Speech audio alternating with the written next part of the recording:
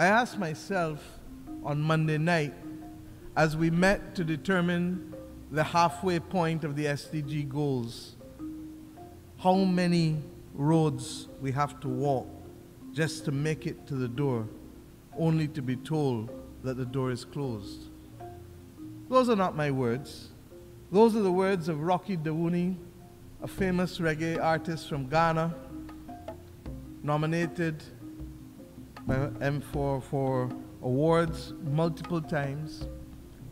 But his words ring because, in a very real sense, are we going to trod the roads only to be told that it's too late? Too late for us to save as many as we can from the climate crisis. Too late for us to save as many as we can from the conflicts of war. Too late for us to be able to provide the food that so many need as we reflect on the fact that more people are likely to be hungry in this world in 2030 than in 2015, or as we get to the basic numbers that 735 million people suffered chronic hunger last year at a time when so many others had so much to throw away and to use. Because as quickly as the world has been able to find a mechanism for a global minimum corporate tax, is as long as it has not found a mechanism to be able to inflate the financing opportunities available to developing countries. It cannot be. We know how to run fast in one set of circumstances when it suits one set of people, but yet we run very slow when it matters to billions of people and their access to life and livelihood. I do not want to prey on your time anymore. Work as one to rebuild the lost trust in international action and help those in want. My friends, our region will continue to suffer until the world helps lift the shadow of the Palestinian Israeli conflict, the central issue in the Middle East.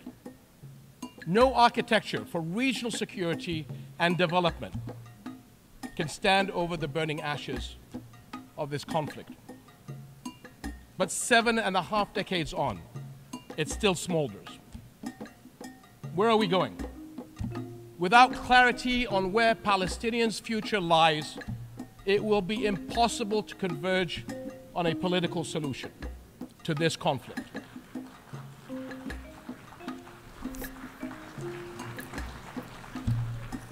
Five million Palestinians live under occupation. No civil rights, no freedoms of mobility, no say in their lives. Yet every UN resolution since the beginning of this conflict recognizes the equal rights of the Palestinian people to a future of peace, dignity, and hope. We can see the Israeli people actively defending and engaging in the expression of their national identity. Yet the Palestinian people are deprived of that same right to express and fulfill their own national identity. Must advance the dignity and rights of every person on our planet to create a just, equitable, and peaceful world. We have noted that since the war began in Ukraine more than a year ago, the, de the developed world provided approximately $220 billion in support to Ukraine. The World Bank has added more than $37.5 billion in emergency financing almost $260 billion mobilized in less than two years. On the other hand, aid to the Palestinian people over a period of 26 years amounted to just over $40 billion, according to figures compiled by the OECD. Haiti receives just, just over $20 billion in aid for reconstruction and development over the past 60 years. African countries were recipients of just over 113 billion over a three-year period to fight hunger, according to the OECD. Assembly was established almost 80 years ago. The world was still reeling from the horrors of a catastrophic bloodletting that our nations resolved should never be repeated. A decision profound in wisdom, magnanimous in intent, and bold in ambition, was made so that the General Assembly would become the main deliberative, policy-making, and representative organ of the United Nations. A decision that manifested no less than the very strength and courage of our convictions. By giving equal voice to the sovereign nations of the world, the founders of the United Nations pursued a vision of a more democratic world predicated on the dictates of equity and justice. This was a vision that consigned to the past the predations of the strong of the weak, the strong over the weak, of the rich and powerful over the poor and the marginalized, and of the big powers over the rest. That vision, in my opinion, has been utterly shattered to pieces. Today, we find that the major powers and those that aspire to greater international status are increasingly casting the United Nations aside for smaller, supposedly more efficacious platforms. As the powers that be continue to pay lip service to the imperative of multilateralism, we see the emergence of minilateralism instead, effectively becoming fragmented configurations of power. Mr. President, we are living in a deeply polarized world. We are seeing major power rivalry unfolding with consequences that will negatively impact nations, especially the smaller ones in the regions of conflict. Africa is warming faster than the rest of the world. We are told that the 20 climate hotspots in the world that we have, we find 17 of them in Africa. Africa is least responsible for the climate damage that has been caused, and yet it bears the greatest burden. Centuries after the end of the slave trade, decades after the end of the colonial exploitation of Africa's resources, the people of our continent are once again bearing the cost of industrialization of the North and the development of the wealthy nations of the world. This is a price that the people of Africa are no longer prepared to pay. Many countries in the North count their assets in the mineral resources that are beneath the African soil. The wealth of Africa belongs to Africans. The mineral wealth that is beneath the soil of Africa must, in the end, accrue to Africans. It is a grave indictment on this international community that we can spend so much money on war. And in fact, trillions are being spent on war, but we cannot support action that needs to be taken to meet the basic needs of billions of people in the world, needs such as addressing hunger. Furthermore, Mali remains firmly opposed to any inter military intervention by ECOWAS which would have disastrous consequences for Niger, but for the whole of the region as well. Any military intervention in Niger or any aggression, any invasion of that country would pose a direct threat to the peace and security of Mali, but also to the peace and security of the region. And it would necessarily entail grave consequences. We will not uh, stand idly by. One should not repeat the serious errors of the recent past. In 2011, through the firm op- opposition and warning of African leaders, the United Nations Security Council decided, regrettably, to authorize a NATO intervention into Libya. The consequences of that operation violently destabilized this kindred country and the entire region. This war of NATO in Libya is at the origin of the expansion of terrorism and violent extremism throughout the Sahel region, with its innocent victims and destruction that have ensued. This is why we will never stop reiterating the international responsibility for this human tragedy, which is uh, undergone by Libya and by the people of the Sahel since that intervention. Therefore, on behalf of all the victims of 2011 up until today, the tens of thousands of dead, the millions of displaced peoples and refugees, we call for justice. We call for reparations. But above all, we ask for the international community to shoulder its responsibility and to draw the full consequences of this hazardous uh, military in, uh, intervention by third party countries. It is crucial to avoid reproducing in Niger the errors committed in Libya, the errors that caused the degradation of the entire Sahel region, including in Burkina Faso, Mali, and in Niger. This is essential to reestablish trust among nations.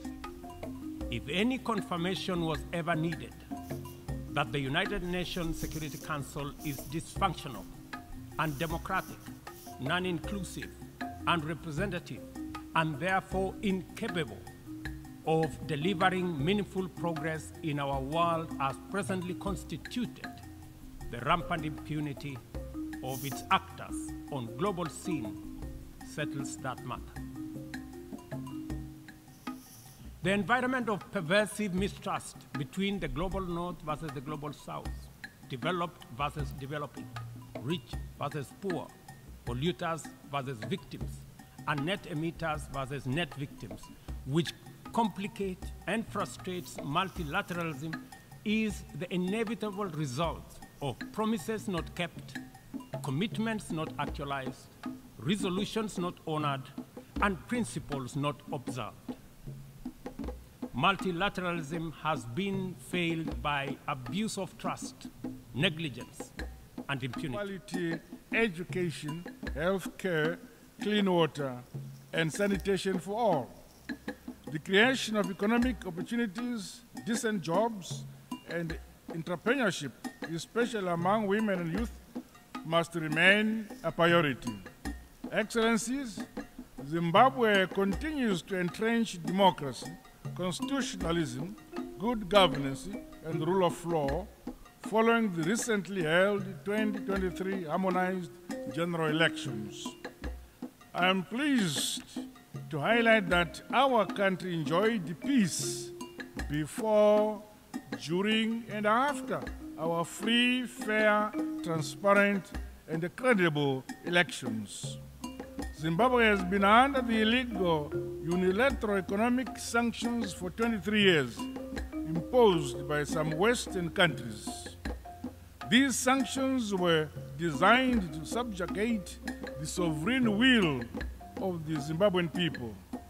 We therefore demand that the unjustified unilateral sanctions be unconditionally lifted, including those imposed on countries like Cuba. We remain grateful for the support and solidarity of progressive countries in the Committee of Nations. In spite of these debilitating sanctions, the people of Zimbabwe have become masters of their destiny. List, but we believe that the transitions underway in Africa are due to several factors, including broken promises, the lethargy of the people, and leaders tampering with constitutions with the sole concern of remaining in power to the detriment of collective well being. Today, the African people are more awake than ever and more than ever determined to take their destiny into their own hands. The unequal distribution of wealth creates endless inequalities, famine, and abject poverty, which make the lives, the daily lives of our populations increasingly difficult. These inequalities are part of the causes for the events that endanger our peaceful coexistence above all. When the wealth of a country is in the hands of an elite, while newborns die in hospitals due to a lack of incubators, it is not surprising that in such conditions we are seeing transitions in order to respond to the profound aspirations of the people. Africa, ladies and gentlemen, is suffering from a governance model that has been imposed on it.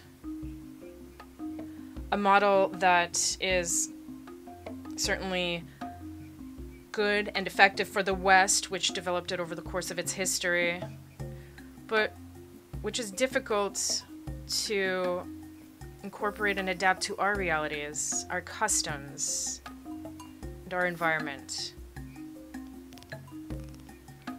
Alas, I have to say that the graft did not take.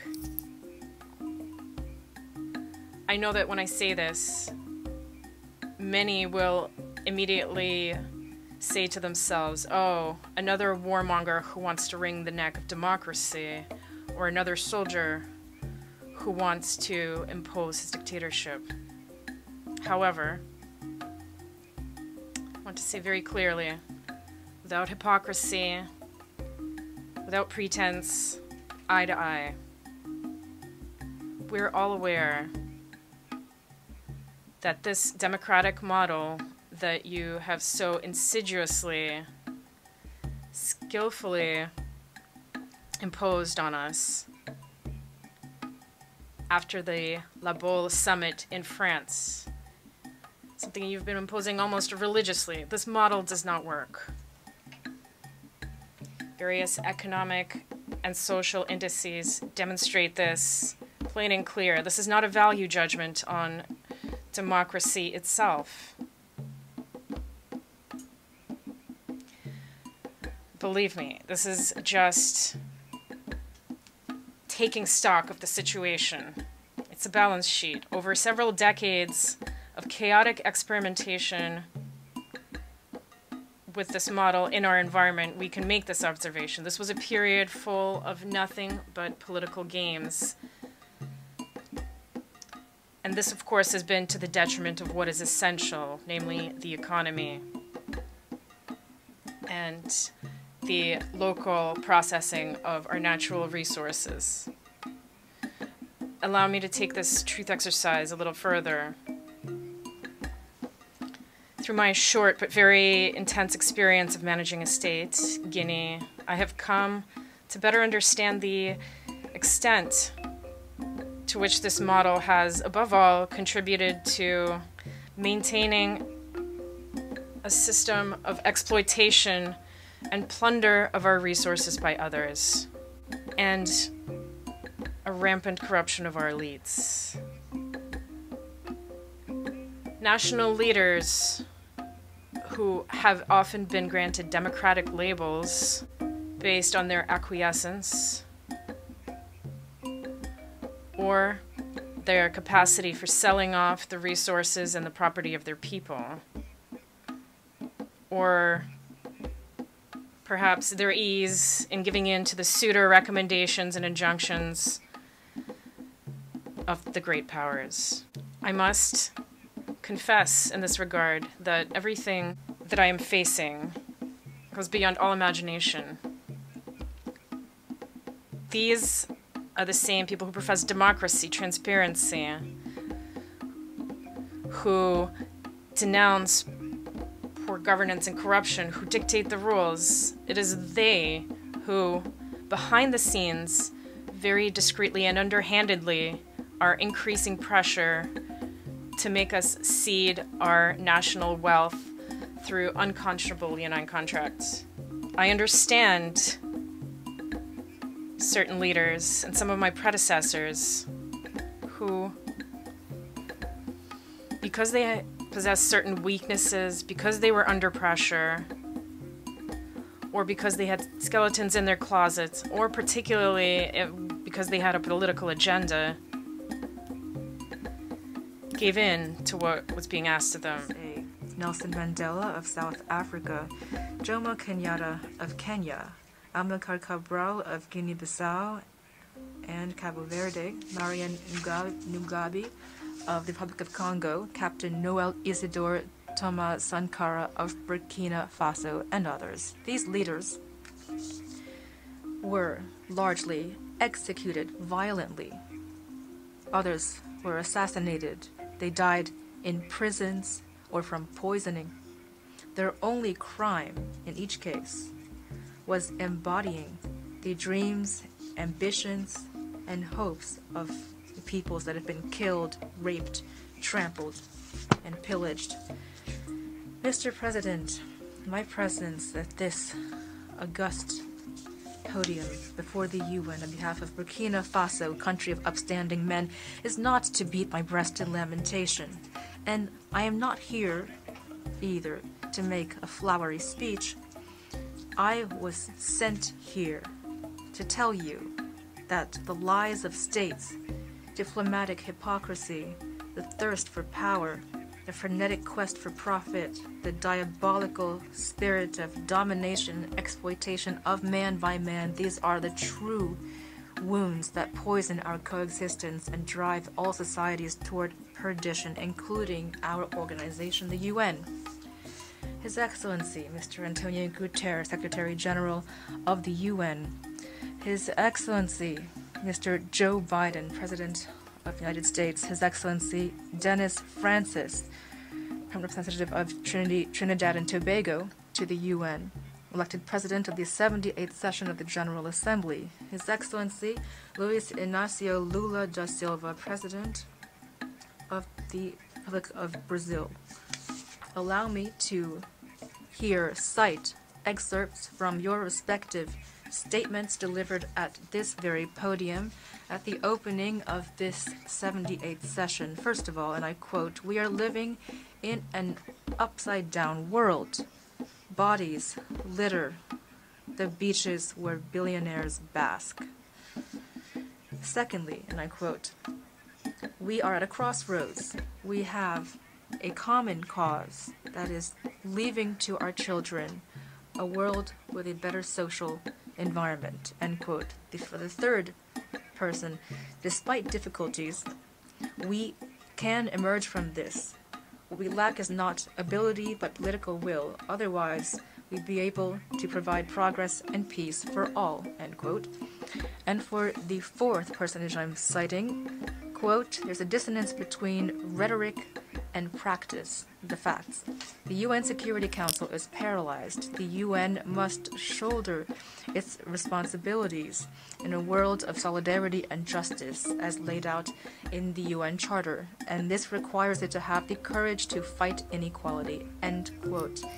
The quintessence of these statements by these four august personages clearly shows that inequality throughout the world is deliberate. Otherwise, with a modicum of courage and political will, we would be able, if not to eradicate them, at least to minimize them. Indeed, every year we hear so many speeches as well as promises and commitments but the proof of dissonance between rhetoric and facts on these issues relating to principles in the UN Charter, including justice, equality, dignity, integrity, self determination, the sovereignty of states, the inviolability of territory, and respect for international law, the proof of this dissonance lies in what's happening in Libya, in the Sahel, especially in Niger, and the crisis between Russia and Ukraine. First of all, in Libya, after the catastrophic flooding thousands of people lost their lives. To assuage our consciences, every nation rushed to provide their condolences and solidarity. This was, of course, to give the impression that we're living in a society and that we defend these values. Intellectual honesty requires, and the history of our conscience tells us, that we ought to sincerely apologize to the people, the Libyan people, for collectively and individually being complicit, whether through pass- uh, passiveness or active complicity, for supporting those butchers who caused the first man made disaster in Libya. It was this disaster that brought Libya to its knees by looting it and by killing its guide before the flooding plunged it into further sorrow. And unfortunately, this human disaster was led by the UN under Resolution 1970, as well as the guilty silence and the complicity of ECOWAS and the African Union. This macabre intervention, with Nicolas Sarkozy's France spearheading the effort, killed the Libyan guide Colonel Muammar Gaddafi on October 20, 2011 if our condolences to the Libyan people had the slightest bit of common sense and were not hypocritical, then this murderous diplomacy would never have uh, taken place. And now Niger is en route to becoming a second Libya. Next, international relations are tainted by great diplomatic diplomacy with no conscience or morals, dignity or integrity, justice nor peace. And this is proven because there is a clear uh, hunger for devouring prey. Today, we unfortunately must see that, contrary to the good faith statements made at this UN podium, which call for respect for the UN Charter and international law, leaders representing the people of Niger, this brotherly people, were essentially forbidden from, from accessing the UN headquarters. Burkina Faso strongly condemns this underhanded maneuver, which uh, seems to belong to the practices of the past. And this can only be explained by a loss in, of essential values needed for any harmonious life in society. The UN should never be used as an instrument in the hands of any country. Pan Africanist leaders who fought for African unity, our grandparents who fell in dignity, shot by the colonialists, these great sons of Africa sacrificed themselves for the honor of their continent, who fought fiercely against the slave trade and neocolonialism. All of them are have had their eternal rest disturbed. When they heard that a handful of exiles, African exiles, are holding Niger hostage.